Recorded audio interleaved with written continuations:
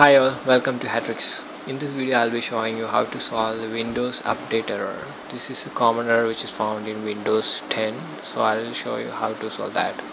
Let's go to update and security and we'll see this error which repeats again and again. So here's a simple and comfortable solution for that.